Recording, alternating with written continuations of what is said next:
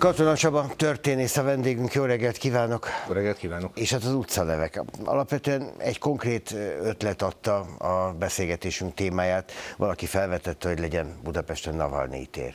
És mert ez többeknek megtetszett ez az ötlet, ez most elkezdett keringeni, de lehet-e Navalnyi tér Budapesten?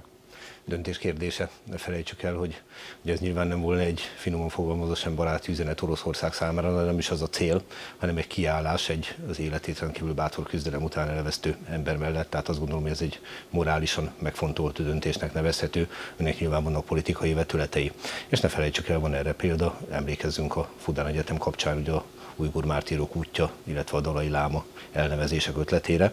Tehát igen, elképzelhető, hogy születik egy ilyen döntés. Van arra valami jogszabályi korlátozás, hogy kiről lehet elnevezni, vagy a halála után milyen időtartamon belül lehet elnevezni valakiről utcát? Élő emberről nem lehet, sajnos Navalnyi esetében ez már nem áll fönt, illetve vannak bizonyos korlátok, tehát például fontos, hogy a személy, akiről elnevezzük, az a demokratikus, jogrendhez kötődve vállalható legyen minimum, de inkább annak elkötelezettje. Tehát teszem ez azt, nála azt gondolom nem lehet kérdéses. Egy másodpercig se.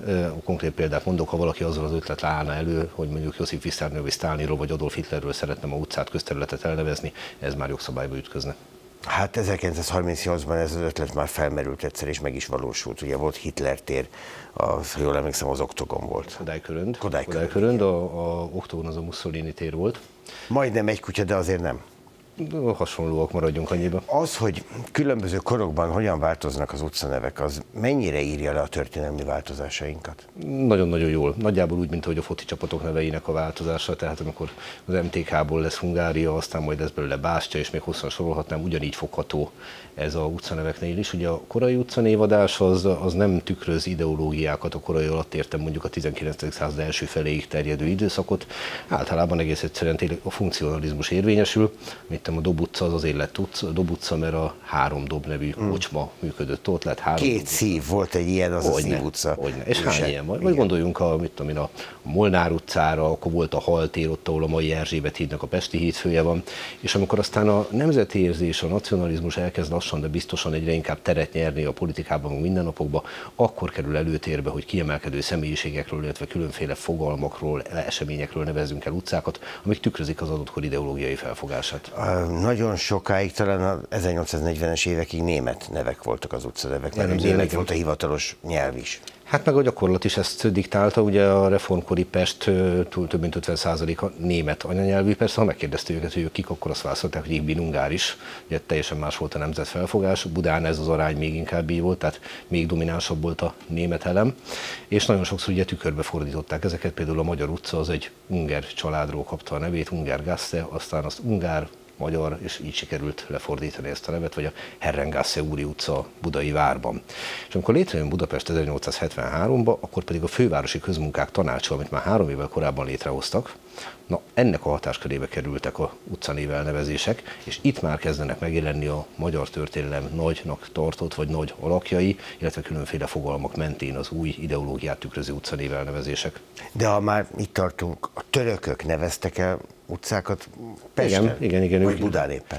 Nem is elezték, egyszerűen hívták valahogy. Tehát itt, itt nem volt egy ilyen hivatalos utcanév átadás, meg keresztül, meg igen, tehát használtak egy elnevezést rá.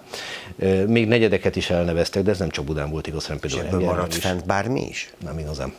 Nem igazán. Tehát a, a maradjunk annyiban, hogy a oszmán uralom az nem feltétlenül pozitív hatást gyakorolt Magyarország fejlődésére. Gondoljunk bele, hogy hány minaret maradt meg összesen, hát alig néhány, ugye Eger, Érd, illetve még Pécs, ahol ezt fel lehet sorolni, egy, egy van Szigetvárom. Nem, jellemzően nem. Ha belegondolunk abba, hogy a magyar történelem hányféle kanyart vetett az elmúlt két évszázadban akár, akkor az azt feltételezné, hogy nekiveselkedik újra és újra és újra a főváros, és elkezd átnevezni. Ez történik?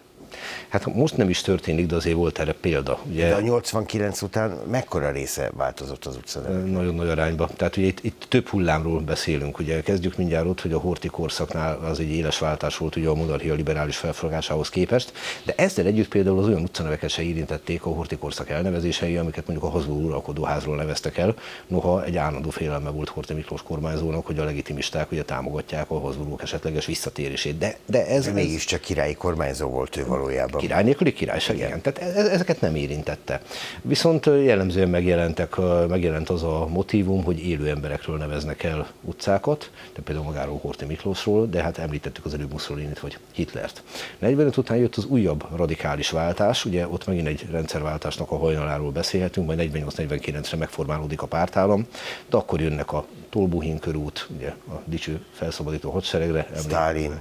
Stalin, így most még hosszan lehetne sorolni, és vegyük magát Persze Lenin, hát Hát Lenin körül. Majakovszki, és, és ugye voltak olyanok, akik nem feltétlen kötődtek csak a rendszerhez, hanem valóban van érdemi, mondjuk, hogy teljesítmény mögöttük, gondoljunk mondjuk a Puskin vagy Majakovszki, de hát, de hát ők is ekkoriban kapják meg, ugye róluk is akkor neveznek el utcákat.